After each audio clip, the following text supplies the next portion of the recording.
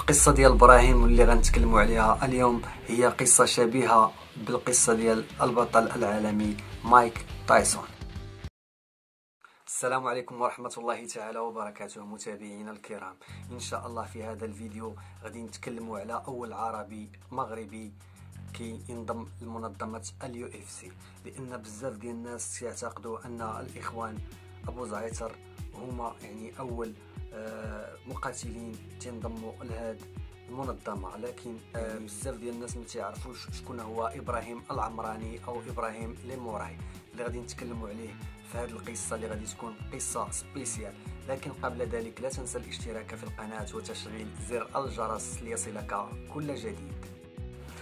ولد هذا البطل أي إبراهيم العمراني سنة 1977 من أب مغربي وأم بريطانية بالعاصمة لندن. فالاب ديال إبراهيم اللي كان يعني مغربي الأصل فكان يعني إنسان سكير فكان دائما يعني تيدخل للدار وتيكونوا مشاكل وحنا تنعرفوا الناس اللي يعني تيكونوا مدمنين على الكحول. فالله يعفو على كل واحد. فدائما تيكونوا المشاكل في الدار. فهذا اللي خلى أن إبراهيم آه العمراني أنه يخرج للشارع في سن صغير ويتعاطى المخدرات كمروج وليس كمستهلك. إبراهيم بعد ذلك يعني تم القبض عليه ومشى يعني للسجن ومن ثم غادي تنفجر منه ديك الموهبة اللي آه يعني غادي يكتشفها في السجن يعني الموهبة ديال آه يعني الفنون القتالية العشوائية. سميتها عشوائية لأنه مازال ما دخل في ديك الوقيتة في شي منظمة من المنظمات المقننة. مباشرة بعد ما خرج إبراهيم من السجن كمل في التدريب ديالو. اللي لقى فيها راحته وفي الحياة الجديدة ديالو.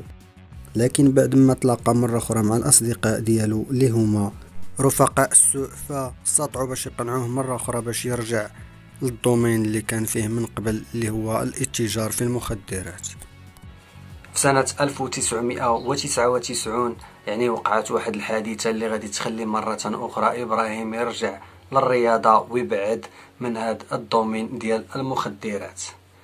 فالعصابة اللي كان كيتزعمها إبراهيم العمراني وعصابة أخرى معروفة في الاتجار بالمخدرات. فوقع بيناتهم واحد النزاع وكانت بيناتهم واحد المعركة طاحنة. فالكل يعني تشد في هذه المعركة كل يعني لا العصابة ديال إبراهيم ولا العصابة الأخرى كل شيء تعتقل إلا شخص واحد اللي هو إبراهيم ليموراي لأنه ما تبتاتش في حقه حتى شي جريمة باش يتشد لأنه دائما كان كيخدم في الكواليس وكان يعني إنسان ذكي جدا وبالتالي ما تشدش. وهذا اللي غادي يخليه يرجع إنه يتفرغ كليا للرياضة باش من بعد إن شاء الله غادي يكون أول مقاتل مغربي اللي غادي يشارك في ال UFC واللي غادي يربح سبع نزالات متتالية اللي ستة منهم كانوا بالضربة القاضية وفي الجولة الأولى. فسنة 2002 كانت سنة spéciale بالنسبة للبطل ديالنا إبراهيم ليموراي. حيث يعني وقع بينه وبين تيتو أورتيز واللي كان يعني آه البطل المدلل ديال منظمة ال UFC. في ديك الوقيتة في ال heavyweight في الوزن الثقيل يعني كان آه يعني هو أقوى الأبطال ديال ديك الوقيتة فوقع بينه وبين إبراهيم واحد الشنآن اللي غادي يعني يزيد يشهر إبراهيم أكثر. هو أن إبراهيم كان متفرج في واحد النزال اللي كان منظم في الولايات المتحدة الأمريكية واللي كان فيه تيتو أورتيز كذلك كمتفرج. فوقع بيناتهم مشكل بسيط لكن تزيدوا في الهضرة فإبراهيم ليموراي غادي يوجه لكمة يعني الوجه ديال تيتو أورتيز وغادي يجيبوا K.O ويعني الناس كاملين اللي كانوا يعني في ديك الأمسية فتفاجئوا بالضربة اللي وجهها يعني إبراهيم لذاك المقاتل اللي كان بالنسبة لهم في ديك الوقيتة. عملاق من عمالقة ال UFC. فمباشرة من بعد هذه الواقعة فإبراهيم فزادت الشهرة ديالو كبرات بزاف وجميع يعني الجرائد والصحف تتكلم عليه. يعني جميع القنوات المهتمة بالرياضات القتالية تتكلم على هذا البطل. لأنه أسقط وحش من وحوش رياضة الام حتى وإن كان ذلك خارج الأونتاغون فمن بعد هذا الحادث فإزدادت الشهرة ديال هذا البطل إبراهيم وزداد كذلك حتى زدادت حتى القيمة ديال العقد ديالو واللي مضاها مع ال UFC مباشرة يعني من بعد ديك الحادث مضى عقد آخر مع ال UFC لمدة أربع سنوات أخرى.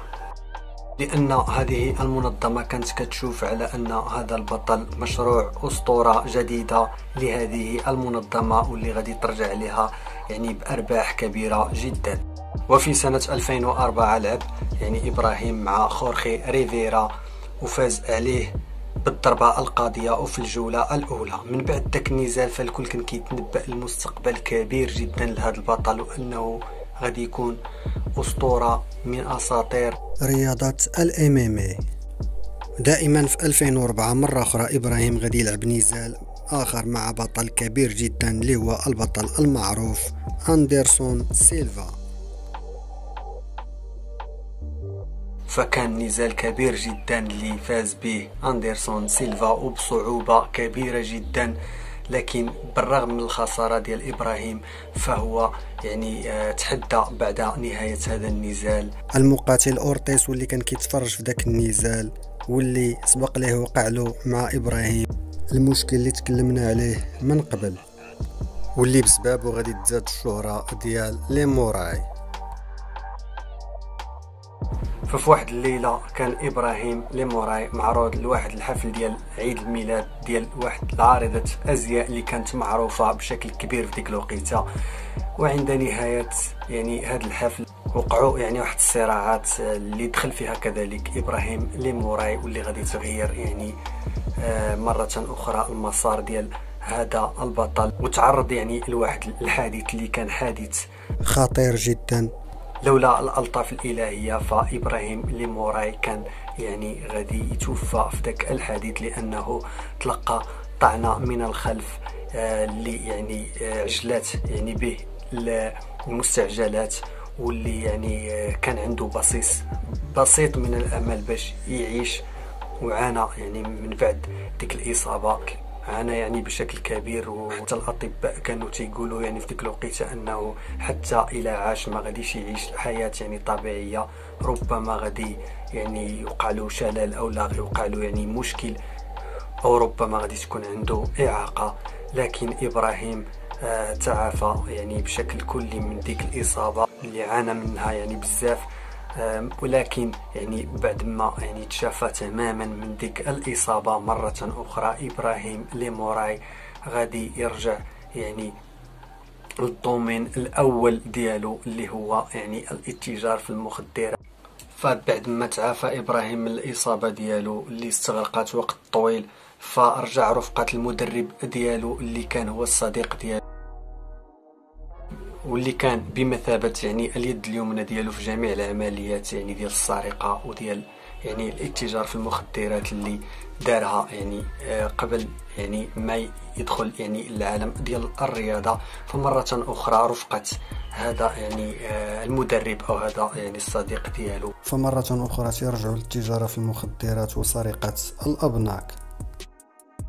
استطاعوا باش ينفذوا أكبر عملية سرقة في بريطانيا لحد الآن وثالث أكبر عملية سرقة في العالم واللي سببت آه، يعني أزمة خانقة لبريطانيا. فلحد الآن آه، فالدولة البريطانية يعني كتصنف إبراهيم لموراي هو أكبر منفذ يعني عملية سرقة في هذه الدولة الكبيرة. فإبراهيم لموراي حاليا كيتواجد في المغرب. بمدينة سالا المغربية والمدرب ديالو في آه، بريطانيا لأن يعني إبراهيم تيحمل الجنسية المغربية والمدرب ديالو هو بريطاني الأصل. فهاد القصة ديال إبراهيم ليموراي فبزاف ديال الناس يعني ما عارفينهاش ويعني كاين ناس في أوروبا في جميع أنحاء العالم كيعرفوا القصة ديال إبراهيم ليموراي أو إبراهيم العمراني. هذا يعني الرجل المغربي يعني اللي آه، دار يعني أزمات واللي دار بزاف ديال الإنجازات زوينة وبزاف ديال الحوايج خايبة وحاليا هو كيتواجد يعني في السجن سالا واللي بزاف ديال الناس يعني تعرفوه بزاف ديال الناس يعني اللي تيتكلموا عليه آه، فقط آه، يعني بزاف ديال السجناء اللي تيعاودوا عليه بزاف ديال الحوايج واللي هو يعني كاين في زنزانة يعني انفرادية. بعد ما قام بزيارة للمغرب هو والمدرب ديالو وتم تم القبض عليهم لأن كان مشكوك أنهم هما اللي يعني نفذوا ديك العملية ديال السرقة اللي دارت في بريطانيا واللي كانت أكبر عملية سرقة في تاريخ بريطانيا واللي اتضح من بعد ذلك أن إبراهيم هو العقل المدبر ديال ديك العملية ديال السرقة. إبراهيم كيقضي السجن ديالو هنا في المغرب. والمدرب ديالو بحكم أنه بريطاني الأصل فهو الآن في بريطانيا. والسلطات المغربية هي اللي استطاعت باش تكشف خيوط هذه الجريمة. أول مغربي وعربي كيلعب في ال UFC هو إبراهيم العمراني. ومن بعد ذلك الأخوين الزعيتر وثالث مقاتل هو يوسف زلال اللي تنتمناو ليه إن شاء الله مسيرة موفقة ولجميع الأبطال المغاربة والعرب.